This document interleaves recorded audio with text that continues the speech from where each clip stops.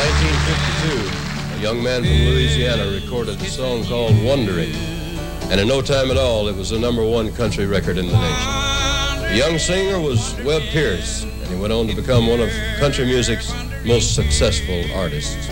Well, I guess uh, Hank Williams was the one that really gave me the big inspiration there. He, uh, I was living in Shreveport at the time, and he was singing there on the show, and uh, I used to hear him every Saturday night, and I, I really liked it. And that's when I started trying to learn how to play the guitar and sing. Ladies and gentlemen, here's Webb Pierce.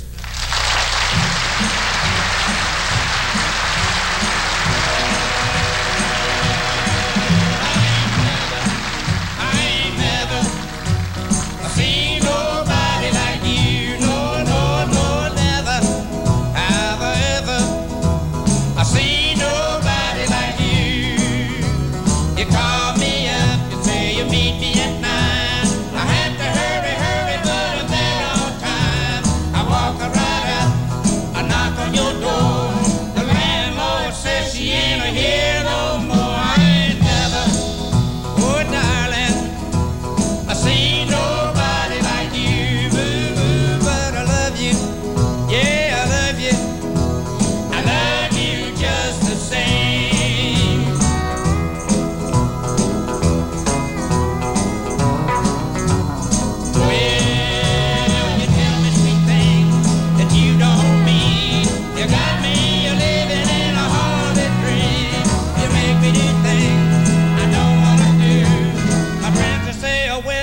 doctor.